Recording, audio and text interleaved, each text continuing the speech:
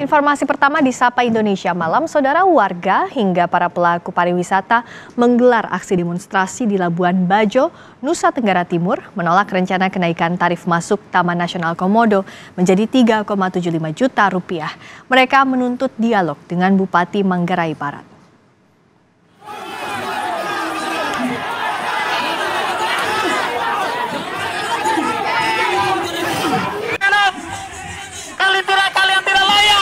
Jelang kirap satu suro, sejumlah kerbau pusaka keraton. Para pengunjuk rasa berupaya menghadang mobil yang ditumpangi Bupati Manggarai Barat di Stasius Endi saat keluar dari lokasi peluncuran aplikasi register masuk Pulau Komodo.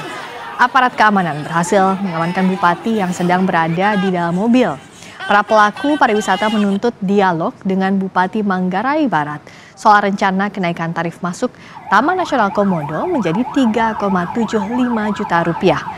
Mereka khawatir kenaikan tarif berpotensi menurunkan minat wisatawan ke Taman Nasional Komodo.